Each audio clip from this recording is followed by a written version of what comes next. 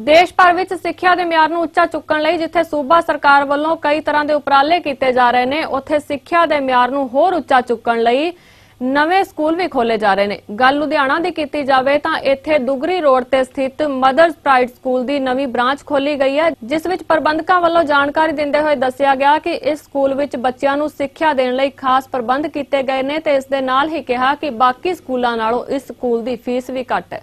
ਪਹਿਲਾਂ ਤਾਂ ਮੈਂ ਸਭ ਦਾ ਵੈਲਕਮ ਕਰਦਾ। ਕਿ ਅਸੀਂ ਇੱਥੇ ਮਦਰਸ ਪਾਈਟ ਸਕੂਲ ਦੇ ਵਿੱਚ ਅੱਜ ਮਦਰਸ ਪਾਈਟ ਦੁਗਰੀ ਜਿਹੜੀ ਬ੍ਰਾਂਚ ਹੈ ਸਾਡੀ ਕੰਪਨੀ ਦੀ, ਦਿੱਲੀ ਦੀ, ਇੱਥੇ ਬ੍ਰਾਂਚ ਖੋਲੀ ਹੈ। ਬਹੁਤ ਹੀ ਅੱਛਾ ਇਨਫਰਾਸਟ੍ਰਕਚਰ ਹੈ। ਬਹੁਤ ਹੀ ਅੱਛਾ ਸਾਡਾ ਬਿਲਡਿੰਗ ਹੈ ਐਂਡ ਕਲਾਸਿਸ ਹੈ। ਫੁੱਲੀ 에ਅਰ ਕੰਡੀਸ਼ਨ ਸਕੂਲ ਹੈ।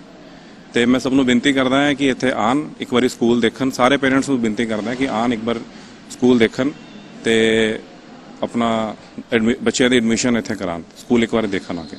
ਸਾਡਾ ਜਿਹੜਾ ਸਕੂਲ ਹੈ ਜੀ ਇੱਕ ਤਾਂ ਇਹਦੇ ਵਿੱਚ ਅਸੀਂ ਜਿਹੜਾ ਪਲੇ ਏਰੀਆ ਦੇ ਰਹੇ ਹਾਂ। ਬਹੁਤ ਹੀ huge play area indoor and outdoor both we have swimming pool here fully air condition school ਹੈ।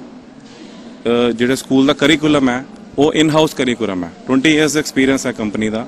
ਉਹ ਇਨ ਹਾਊਸ ਕਰਿਕੂਲਮ ਅਸੀਂ ਲੈ ਕੇ ਆ ਰਹੇ ਹਾਂ। ਫ- ਸਾਡੀ ਫੀਸ ਬਹੁਤ ਹੀ ਜੈਨੂਨ ਰਹੇਗੀ। ਦੂਸਰੇ ਸਕੂਲਾਂ ਦੇ ਕੰਪੈਰੀਬਲ ਫੀਸ ਰਹੇਗੀ। ਬਹੁਤ ਬ- ਜ਼ਿਆਦਾ ਨਹੀਂ ਹੋਏਗੀ। ਉਹਨਾਂ ਤੋਂ ਉਹਨਾਂ ਦੇ ਉਹਨਾਂ ਨੂੰ ਘੱਟ ਹੀ ਹੋਏਗੀ, ਜ਼ਿਆਦਾ ਨਹੀਂ ਹੋਏਗੀ। ਅਸੀਂ ਉਹਨਾਂ ਨੂੰ ਬੈਟਰ ਇਨਫਰਾਸਟ੍ਰਕਚਰ ਦੇ ਰਹੇ ਹਾਂ ਬਟ ਰੀਜ਼ਨੇਬਲ ਫੀਸ ਤੇ ਦੇ ਰਹੇ ਹਾਂ।